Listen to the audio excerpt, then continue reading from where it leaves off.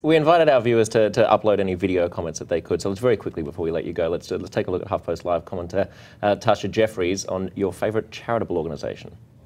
Hello, Susan, from one of your big fans in Toronto, Canada. I'm Tash, and my question for you is, of all the organizations that you work with, which one is the nearest and dearest to your heart and why? That's such a Sophie's Choice Yeah. kind of.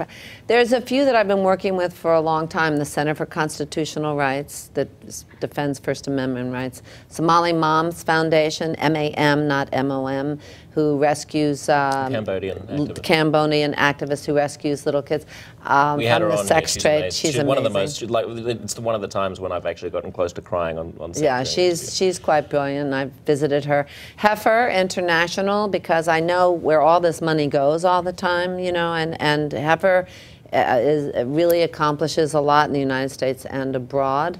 Um, and homeless organizations. Who else?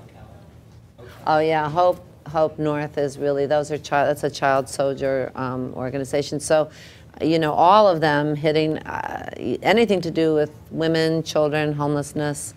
Uh, I, th- I think I I kind of specialize on the ones nobody else wants to do because I think that they need me more sometimes than a really ob- obvious one. You know.